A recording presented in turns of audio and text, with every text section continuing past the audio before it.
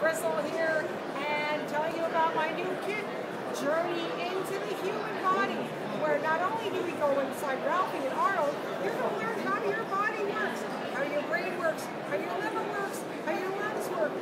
You are going to inflate lungs, you're going to bend bones, you're going to come with all these amazing stickers so you can complete your posts poster yourself and learn how your whole body works. So join me on a wild journey inside the human body.